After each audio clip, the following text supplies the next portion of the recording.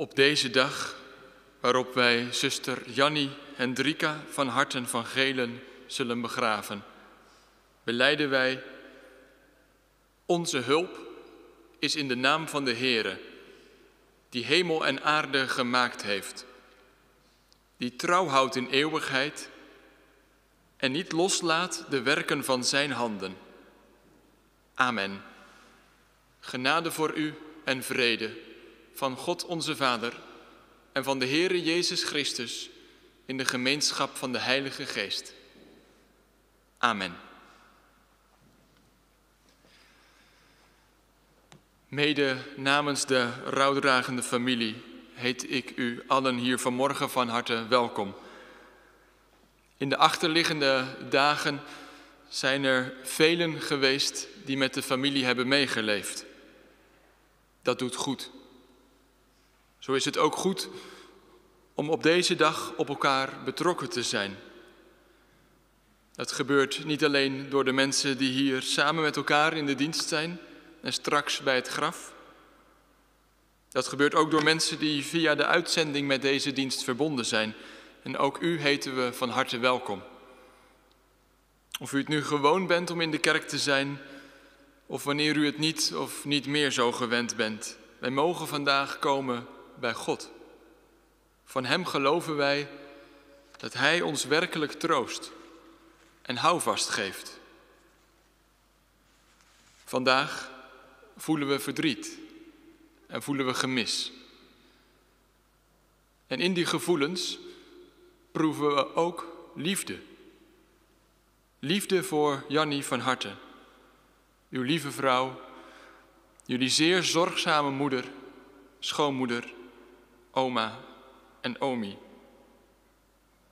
Jullie schrijven op de rouwkaart voor ons geheel onverwacht, maar op Gods tijd uit ons midden weggenomen. Onverwacht. Zo plotseling wordt alles wat vertrouwd was veranderd. Het bericht van haar overlijden heeft velen geschokt in de familie, in de gemeente, in de stad en daarbuiten. Het zet ons stil. Een psalmdichter heeft lang geleden onder woorden gebracht dat onze levensduur, als je het wel beschouwt, kort is. En in dat licht, het licht van de kortheid van het leven, zoekt die psalmdichter de hulp van God. En ook daarvoor, juist daarvoor, zijn wij vanmorgen hier in de kerk bij God. Laten we daarom deze psalmwoorden met elkaar zingen. Psalm 89, vers 19.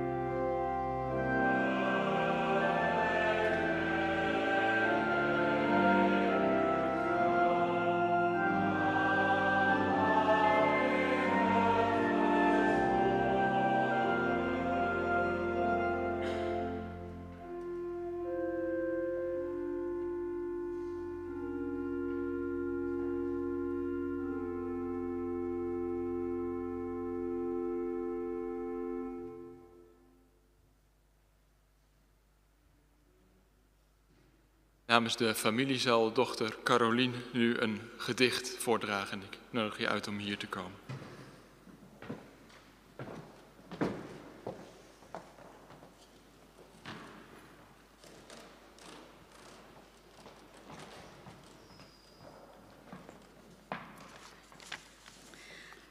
Mijn moeder.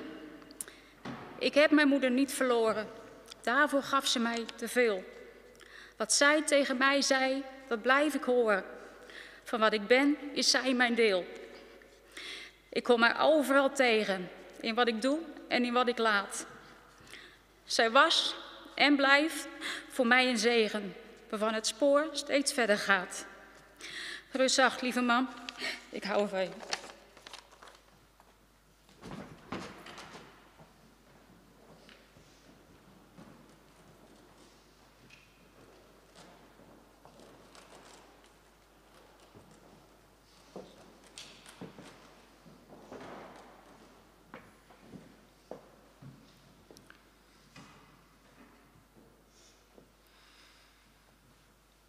Laten wij met elkaar bidden.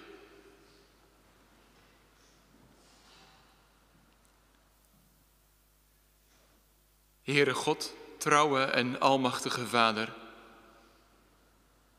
zo zijn wij hier bijeen. Zoals dat in het gedicht net verwoord werd met herinnering, die levend is. Heere onze God, wij bidden u dat u ons in deze dienst vandaag nabij bent. U kent ons zoals we hier zijn, of zoals we ook met deze dienst verbonden zijn. U kent ons in ons verdriet, ons gemis onze rouw, in onze herinnering en liefde. Heren, wij bidden u dat wij het merken mogen dat u ons opzoekt met uw troost. Wij bidden u dat wanneer wij uit uw woord lezen en de woorden overdenken, dat we daarin uw stem zullen horen. Uw stem die ons juist op een dag als vandaag zoveel te zeggen heeft. Omdat u ons niet aan ons lot overlaat.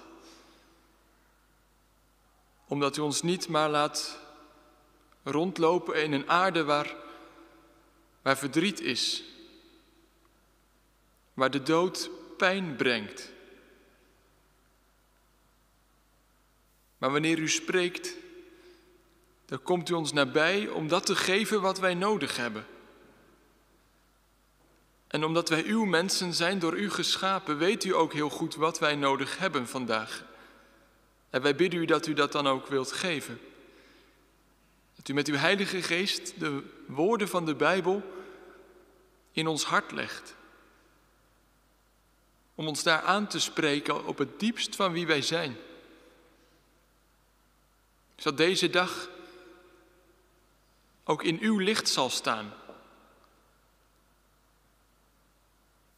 Heere onze God, wij willen u danken voor al het medeleven dat gekomen is in de afgelopen dagen. Het verdriet is groot, maar het is goed wanneer dat medeleven ontvangen is. Heren, wij danken u dat ook vandaag zoveel betrokken zijn op de familie, om hen bij te staan, te troosten. Heere onze God, wij bidden u, zegen ons samen zijn, zegen deze dienst en help ons. Dat bidden wij u in de naam van Jezus Christus. Amen.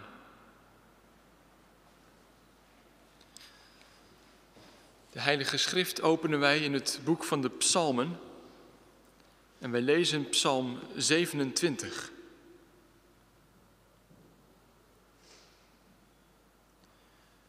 Een psalm van David.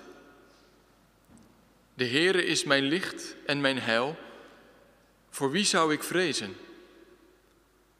De Heere is mijn levenskracht. Voor wie zou ik angst hebben? Toen kwaaddoeners op mij afkwamen om mijn leven te verslinden, mijn tegenstanders en mijn vijanden, struikelden zij zelf en vielen. Al belegerde mij een leger, mijn hart zou niet vrezen. Al brak er een oorlog tegen mij uit, toch vertrouw ik hierop.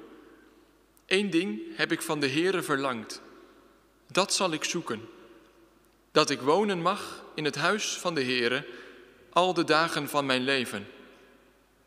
Om de lieflijkheid van de Heere te aanschouwen en te onderzoeken in zijn tempel. Want hij doet mij schuilen in zijn hut in dagen van onheil. Hij verbergt mij in het verborgene van zijn tent. Hij plaatst mij hoog op een rots. Nu heft mijn hoofd zich omhoog boven mijn vijanden die mij omringen. Ik zal in zijn tent offers brengen onder geschal van trompetten. Ik zal zingen, ja, ik zal psalmen zingen voor de Heere. Hoor, Heere, mijn stem als ik roep. Wees mij genadig en antwoord mij. Mijn hart zegt tegen u wat u zelf zegt. Zoek mijn aangezicht. Ik zoek uw aangezicht, Heere. Verberg uw aangezicht niet voor mij. Wijs uw dienaar niet af in toren. U bent mijn hulp geweest. Laat mij niet in de steek en verlaat mij niet, o God van mijn heil. Want mijn vader en moeder hebben mij verlaten, maar de Heere zal mij aannemen. Heere, leer mij uw weg. Leid mij op een geëffend pad omwille van mijn belagers. Geef mij niet over aan de begeerte van mijn tegenstanders, want valse getuigen zijn tegen mij opgestaan en mensen die briesen van geweld. Als ik toch niet had geloofd dat ik de goedheid van de Heere zou zien in het land van de levenden. Ik was vergaan. Wacht op de Heere. Wees sterk en Hij zal uw hart sterk maken. Ja, wacht op de Heere. Dit is het woord van God.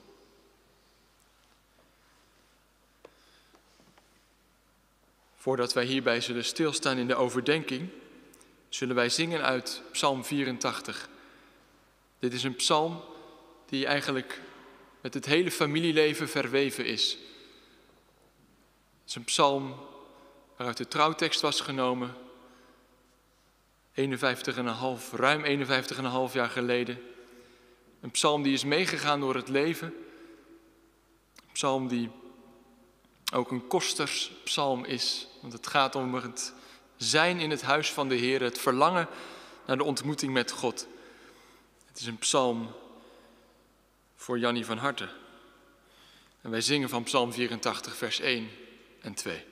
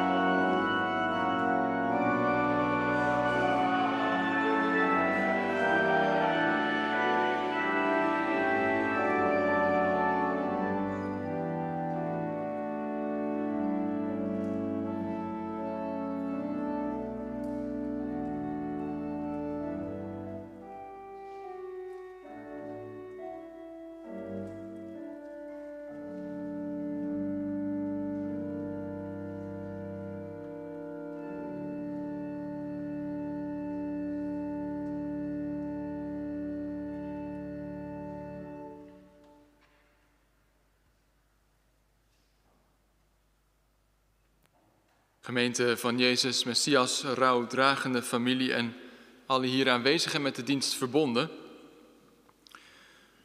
Vanmorgen hebben we Psalm 27 gelezen en het is niet voor niets dat juist deze psalm voor vandaag is uitgekozen. De tekst die boven de rouwkaart staat, komt uit deze psalm, het veertiende vers. Wacht op de Heere, zijt sterk en hij zal uw hart versterken. Ja, wacht op den Heere. Deze tekst is als beleidenistekst meegegeven aan zuster Jannie van Harte. Een hele tijd geleden. En toch was deze tekst nooit ver weg. Iedere dag was deze tekst in huis te lezen op het houten bord boven het bed in de slaapkamer. En gisteren zijn we nog met elkaar in gesprek geweest om dat in herinnering te roepen, om terug te denken hoe het geweest is.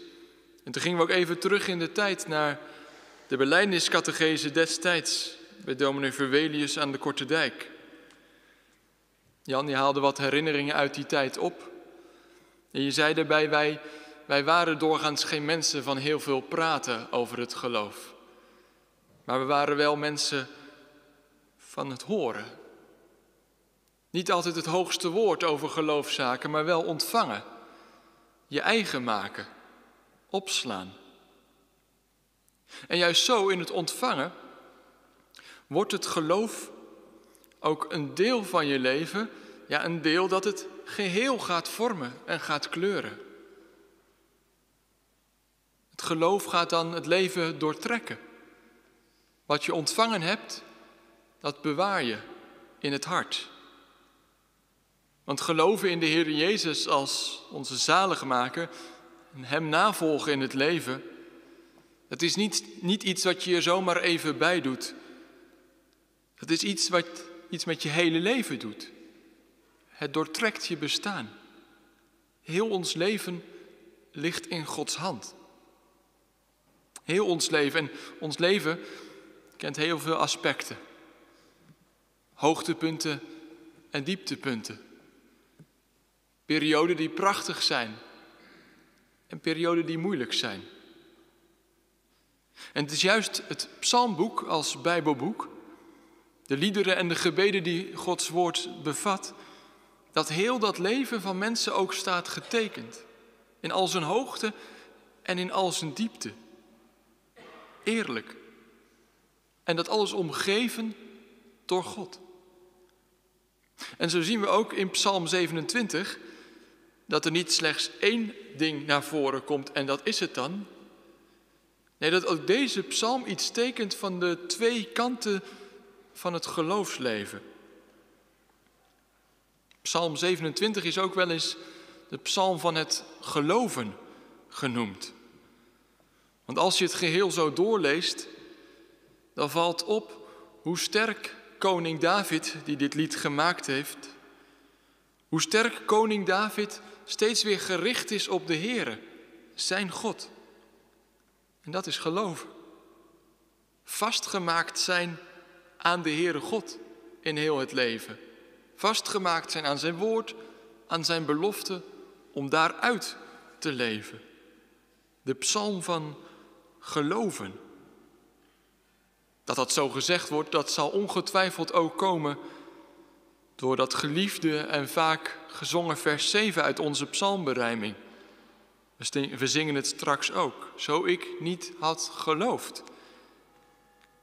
Het wordt dan wel duidelijk als je dat zingt, als je die psalm zo doorleest, dat het een groot verschil maakt. Geloven. Dat is ook zo. Dat maakt een eeuwig verschil. En het is ook duidelijk dat de psalmdichter er niet aan moet denken als hij niet zou hebben geloofd.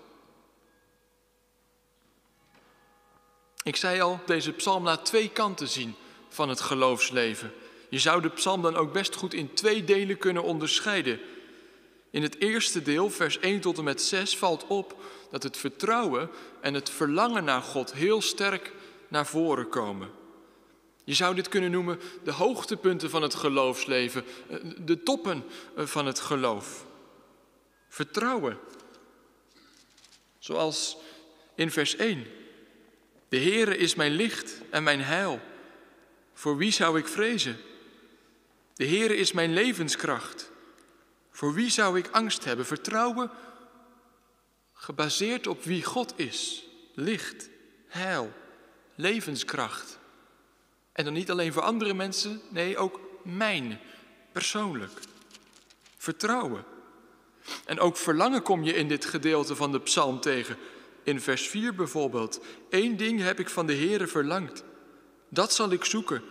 Dat ik wonen mag in het huis van de Heere al de dagen van mijn leven. Om de lieflijkheid van de Heere te aanschouwen en te onderzoeken in zijn tempel. Het verlangen naar het huis van God. Ook dat doet weer denken aan die Psalm 84, die zo vol verlangen is naar de ontmoeting met de Heere God in zijn huis. Een ontmoeting die hier op aarde al vorm krijgt, in dit huis, dit huis van gebed. Een verlangen dat vervuld wordt in het grote huis van God, de hemel, om bij Hem voor altijd te wonen. Veilig en zeker. Ja, dat zie je dan ook na vers 4 in vers 5, waar de vervulling van dat verlangen toe leidt. Dat we mogen schuilen bij God. Dat we bij Hem veilig zijn. Prachtig hoe vertrouwen en verlangen zo doorklinken. Maar de psalm gaat ook verder en zegt dat er ook nog meer is. Meer dan alleen de dagen waarop je de hoogtepunten van je geloofsleven doormaakt. Want wie gelooft in de Heere God, wie leeft, komt ook in aanraking met moeite, met zorgen, met dingen die ons vertwijfeld maken of aanvechten. Het kan dan door diepe dalen gaan. Het geloven, dat doe je niet op een roze wolk. En geloven doe je in het echte leven. Het echte leven dat eerlijk zijn zorgen kent en zijn problemen. En dat valt dan weer op in het tweede deel van de psalm, vanaf vers 7. Daar wordt vooral gebeden, smekend gebeden om Gods hulp, om Gods redding. En juist daarin hoor je ook duidelijk terug dat koning David hier aan het woord is. Een koning, want hij heeft het best vaak over vijanden en tegenstanders. Als gelovige koning had David het soms zwaar in zijn leven. Maar niet alleen koningen hebben hun moeite en zorgen. In heel de Bijbel kom je mensen tegen die levensecht zijn. Levensecht zoals we ze ook in onze stad zouden kunnen tegenkomen. Als we in de spiegel kijken, komen we ze ook tegen. Mensen zoals wij zelf zijn. En in de Bijbel zie je dan dat die gelovige mensen het lang niet altijd zo breed hebben. Lang niet altijd juichend met het hoofd omhoog door het leven gaan van mij kan niks gebeuren. Nee, geloven, ja, dat is hebben, maar ook wel eens niet hebben. Dat je het mist bij jezelf, dat je denkt, hoe gaat het nu? Waar gaat het heen? En het is zo onrustig van binnen. Het is zoals een man een keer tegen de Heer Jezus zei, toen de Heer Jezus hem ontmoette. En die man zei toen, ik geloof, Heere, kom mijn ongeloof te hulp. Die twee. Geloven, dat is heel vaak erkennen dat je, dat je het zelf niet zoveel hebt. Dat je arm bent in jezelf. Maar het is tegelijkertijd dat je er dan ook door Gods genade bovenuit wordt getild. Dat het daarbij niet blijft, maar dat, dat Hij ons brengen wil naar, naar rijk zijn in Christus. De ruimte van Gods vergeving en vrede. Psalm 27 laat ons zien dat geloven in de Heere God en ook als gelovigen door het leven gaan dikwijls twee kanten in zich heeft. Vertrouwen en verlangen, het vele mooie, moeite, zorgen en aanvechtingen aan de andere kant. En eigenlijk als je die twee kanten zo bij elkaar ziet, dan geeft dat Bijbelgedeelte ons ook woorden. En hoe we vanmorgen zuster Jannie van Harte gedenken, zoals zij was als een gelovige vrouw. We gedenken in liefde bijvoorbeeld het prachtige dat we in haar hebben ontvangen. Haar verlangen, haar verlangen om er bij uitstek voor anderen te zijn. Het werd me door verschillende mensen deze week gezegd. Hoe vaak niet de woorden tot uw dienst geklonken hebben. Aan de telefoon bijvoorbeeld, als er in het kosterswerk even iets afgestemd moest worden. Tot uw dienst. Haar leven was vol van zorgzaamheid, dienstbaarheid en liefde waarin zich zichzelf helemaal gaf. Zo gedenken we haar in het huwelijk dat jullie lang samen mochten hebben. Hoe ze je terzijde heeft gestaan. Zo gedenken we haar als moeder en schoonmoeder in haar zorgzaamheid. Dat ze er was. Als oma en omi. Zo hebben we gisteren ook in herinnering geroepen hoe zij toegewijd was in het werk. Voornamelijk het werk in de hooikaas, als een speel in het bedrijf. Ze ging ervoor, ze gaf zichzelf, ze werkte hard. Zo leerden we haar ook kennen in de gemeente als het ging om de ondersteuning in het kosterschap. Dienstbaar, zorgzaam en heel precies om andere mensen het goed te laten hebben. Prachtig om dat in herinnering vast te houden. En tegelijkertijd, wanneer we terugdenken aan haar leven, dan zien we ook die andere kant, waarin het niet altijd zo makkelijk is. De kant van zorgen, teleurstelling, angst. We kunnen vragen als we terugdenken aan al haar zorgzaamheid. Was er ook wat voor jezelf bij? Wat heb je zelf mogen ontvangen? En we kunnen, als we terugdenken, ook zeggen: misschien zijn we wel eens teleurgesteld geraakt in mensen. Dat dat pijn deed. Moest dat nu zo? Had dat niet anders gekund? Voor een vrouw voor wie relaties, goede relaties, zo belangrijk waren, kan dat heel veel pijn doen. En daarnaast denken we ook aan het moeilijke van ergens gauw over inzitten.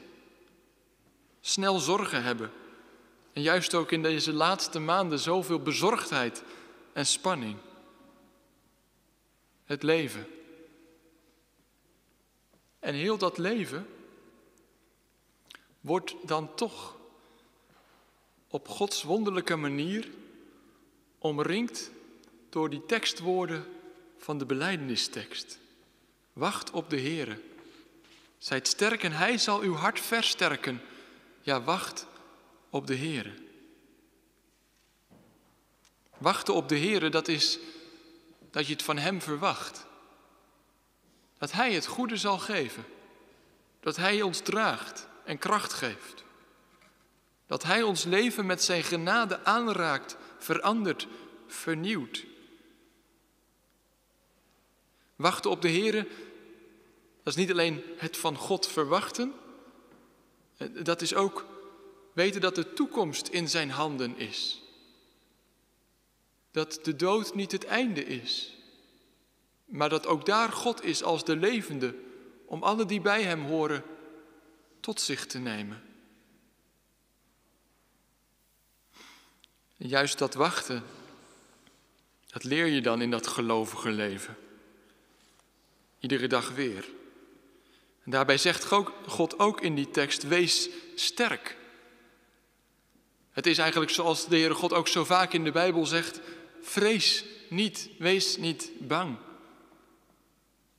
Maar ja, als we dan naar onszelf kijken, dan kunnen we best wel eens zeggen: ik ben niet zo sterk. En ik ben ook wel eens bang. En dan mogen we ontdekken dat de Heere God ons niet aan ons lot overlaat, maar dat Hij aan ons geeft wat Hij van ons vraagt. Als Hij zegt, wees sterk, vrees niet, houd moed. Dat Hij dat dan vervolgens zelf ook geeft. De kracht, het vertrouwen, de hoop en de moed. En zo klinkt in die tekst ook een belofte. Hij zal uw hart sterk maken. Het hart, dat is in de Bijbel niet zozeer het orgaan in ons lichaam, maar dat is een uitdrukking voor de kern van ons leven, het diepste van ons bestaan. Van waaruit we leven, van waaruit we denken, voelen, geloven. Dan belooft de Heere God hier om ons hart sterk te maken wanneer wij op Hem wachten. Het gaat om het werk van God in ons, in ons binnenste. En wat God doet, dat gaat niet verloren. Dat doet God voor eeuwig, dat blijft bestaan. Dan maakt Hij ons hart, ons leven sterker zelfs dan de dood. Omdat Hij Zijn liefde in ons hart uitstort. En dan mag alles omvervallen. Dan is er in het leven veel dat vergaat. En dan blijft de liefde van God. En in die liefde van God wil Hij ons dan bewaren. Door de dood heen. En maakt God zijn eigen werk, het werk van de Heer Jezus Christus, zo vast aan ons. Dat wanneer we sterven, het niet het einde is, maar een nieuw begin. Om dan oog in oog te staan met de Heer Jezus die ons zo heeft lief gehad. En voor altijd bij Hem te zijn. En dan sluit die tekst af door nog een keer te zeggen: Wacht op de Heere. En ik denk dat dat vooral dan de oproep is die voor ons vandaag klinkt. Als wij mogen meeluisteren, om dit ter harte te nemen, om het van de Heere God te verwachten. In dit leven en voor het sterven. Om het van de Heere God te verwachten, dat Hij ons juist, juist ook in deze dag niet alleen laat, maar het licht van de opgestane Christus over ons laat gaan. En dat er ook na vandaag Hij nog steeds de getrouwe is, die voor ons zorgt en ons geeft wat we nodig hebben. Wacht op de Heere. En wanneer wij van God verwachten, dan zullen we ook merken dat Hij ons komt versterken. Door mensen om ons heen. Wat heeft het goed gedaan? Zoveel meeleven. Dan versterkt Hij ons door de liederen die we ook vandaag zingen. Dan versterkt Hij ons in de tekenen van brood en wijn in het heilig avondmaal. Maar juist ook komt Hij met Zijn woorden naar ons toe om ons te versterken en ons vast te maken aan Hem, om ons te doen leven met hoop. Zijn woorden. En die woorden mogen we dan ook delen met elkaar. Mogen we zeggen vanuit het woord van God, werp al uw zorgen op Hem, want Hij zorgt voor u. Dat is een woord dat blijft staan. Voor iedereen om het bij God te zoeken, van Hem te verwachten, omdat Hij een trouwe God is in heel het leven. In die dagen die zo mooi zijn en in die dagen die zo moeilijk zijn. Werp al uw zorgen op Hem, want Hij zorgt voor u. En als je dat gelooft, dan ben je gelukkig. Net zo gelukkig als die dichter van Psalm 27. Ja, voor eeuwig gelukkig en getroost. Amen. Wij zingen Psalm 27, vers 7.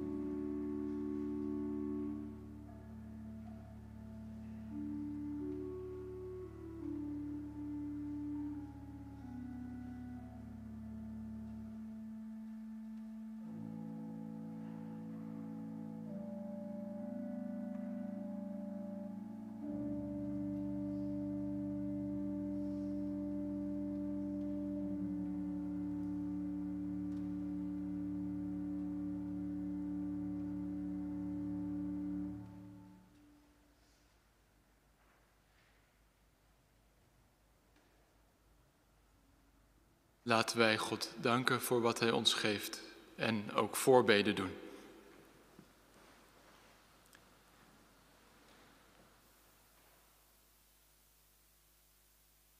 Heere God, u bent een trouwe God. Want u geeft ons het leven, u staat aan ons begin. En in iedere dag van het leven bent u er. Zodat wij met hoop en met dankbaarheid mogen zeggen dat juist ook aan het einde van het leven op aarde u er bent als de trouwe God. Wij danken u voor het woord dat u vanmorgen aan ons hebt gegeven.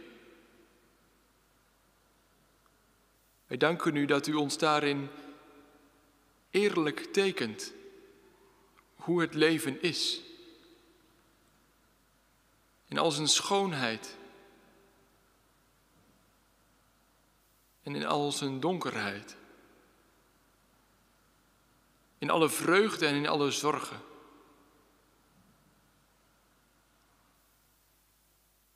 En daarbij zegt u ons dat wij u nodig hebben. Dat ons leven slechts dan is een werkelijk leven wanneer wij met u door het leven gaan. Wanneer wij op u wachten, het van u verwachten. Opdat u in ons, in ons hart, in ons binnenste een eeuwig werk doet. Waarmee wij op een dag thuiskomen bij u. Heer, wij bidden u dat wij dat ter harte zullen nemen. Dat u ons raakt met uw woord en geest.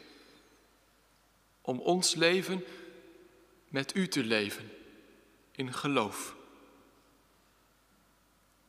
Heere God, zo willen wij u ook vandaag danken. Voor wie zuster Jannie van harte was. En voor wat wij in haar hebben ontvangen.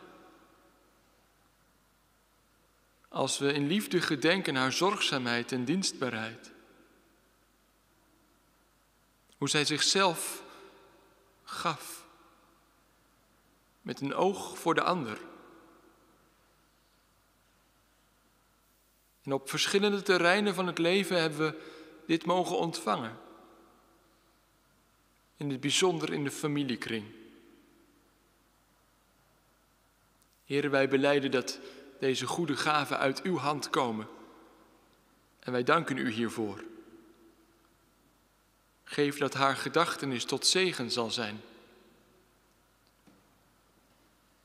Dat we zullen zien op haar, op haar geloof, om ook zelf Christus na te volgen.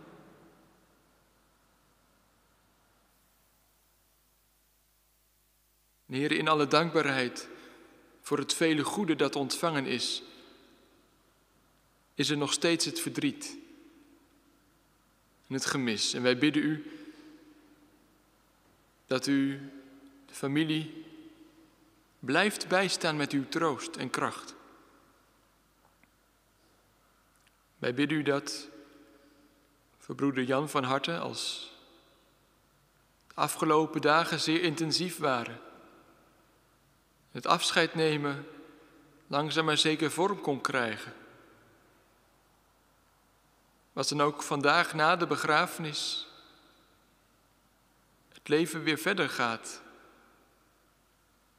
Als we dan niet kunnen overzien hoe. Dat we er ontzettend tegenop zien. Om alleen verder te moeten.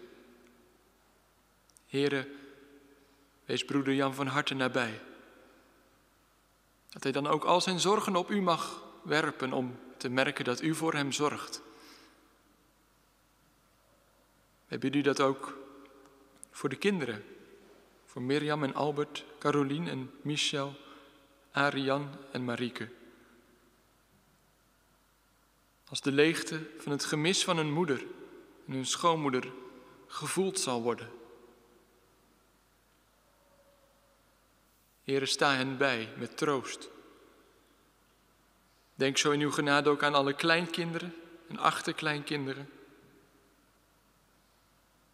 Als het zo anders is geworden, het leven. Denk in het bijzonder ook aan de jonge kinderen die dit misschien wel heel moeilijk vinden om te begrijpen. Heer, kom ze dichtbij met uw zegen en uw liefde. Wij bidden u dat ook voor de zussen van Gele, voor de verdere familie, ja voor allen die treuren. Houd ons vast, houd ons dicht bij u. Sta ons in het verdere van deze dag bij als wij zo straks de gang naar de begraafplaats maken. Ondersteun ons en laat uw lichtend gezicht over ons gaan, zodat wij mogen leven in geloof, in hoop en in liefde. Vandaag, morgen en voor eeuwig. En dat niet uit ons, maar door Jezus Christus, uw geliefde Zoon, onze Heere. Amen.